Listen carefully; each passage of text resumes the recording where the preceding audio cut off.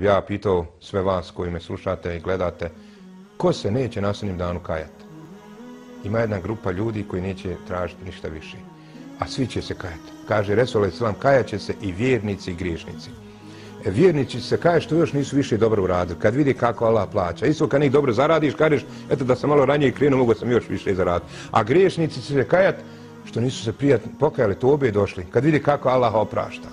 Pa svi će se kajati. I, i oni klanjači, što nisu još više klanjali na fili.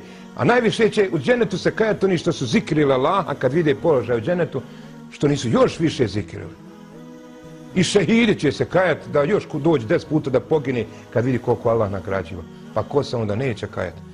Jer zbilja je takav insan, kad su oni ušli u tunel, jedna pećina je bila. Kaže, ko ovde nešto uzme, kajaće se. I ko ne uzme, kajaće se. Kažu, dva jarana to čitaju, kaže, da jarane ti uzme, ja neću uzeti, pa da vidimo jedan šta će biti. I kad su izašli, e, onaj što je uzeo, kad je pogledao, a, dragulji.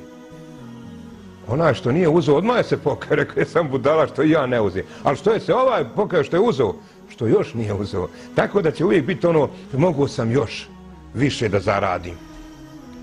E, ima jedna elita koja se neće kajati, a to su koji, kad bi duže razmišljali, nagađali, ja to ovako na predavanju malo će pitati, to su šakiri, zahvalni, zadovoljni. Oni na Dunjalku, što god im Allah pošalje, nisu tražili više. Oni su vikali, alhamdulillah. Da li bole, zdravlje, pare, nema para, fin, ružan, tako da oni su Allah šućara na svim stanjima. I oni će i, i, i na hiretu vikati, alhamdulillah. Eto, to su takvi. Tako kaže da je e, Fudal ibn Ija toliko bio zadovoljan Allahom, odbrio mene je strah kad se sjetim njegovog primjera. Kaže, nikad se nije smiju. Ozbiljan bio. A kad mi je dijete umrlo, onda se nasmio. To je paradoks. To ne ide u glavu ni meni, ni, ni mnogima. Pa ga upitali što se sad nasmija. Kad je bilo me strah da se smrknem na ono što mi Bog odredio, da vidi Allah kako sam ja zadovoljan njegovom odredbom ovdje pamet staje na one velike a, a, gnostike, arife, koji tako rezonuju Allahu odredbu, koji su tako zadovoljni što im Allah pošalje. Pa će oni u dženetu samo šučurat i vikat alhamdulillah.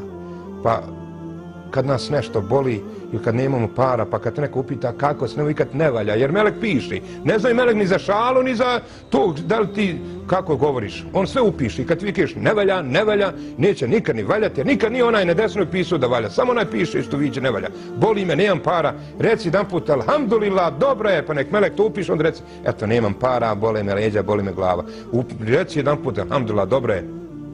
Pa onda kaže, onaj što ti fali. Jer neko kaže, ja sam se šalio, Melek ne zna za šalu, neće uzagrati se ništa na svojim danu kraju, evo ti se šalio, pa ovo ćemo tebi u uzagrati staviti. Sve se piše, zato i kad govoriš u šali, kaži istinu. Samo je u šali, reci, lakše je, manje će boliti. Znači, nema laganja nikako. Pa i ovo, budimo zah, zahvalni koliko je god moguće, a vaka lilu mine abadije šakur, malo je robova zahvalni. Molimo Boga da budemo da niko zahvalni. محمد